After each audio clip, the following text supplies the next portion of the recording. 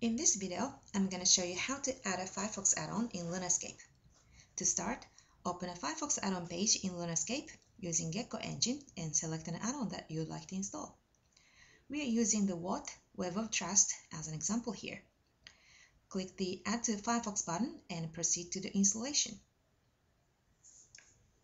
Just so you know, while most of the Firefox add-ons can be used in Lunascape, there are some that are not compatible with us. Those are mostly tab-related ones. Once the installation is completed, the Gecko add-on window will pop up. Let's restart Lunascape to activate the add-on.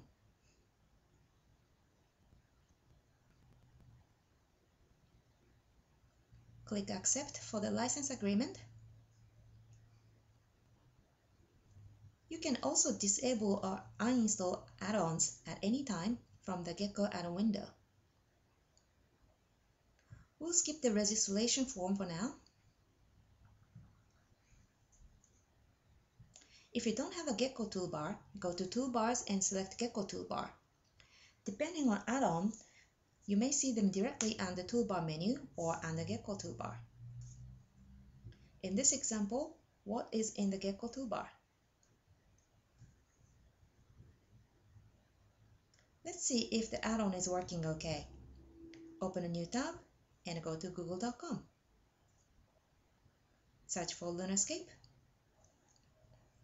In the result page, you'll see the green circles that indicate safe and trusted websites.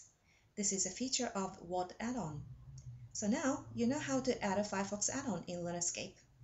For more information, please visit Lunascape help or support at the following URLs. Thanks for watching.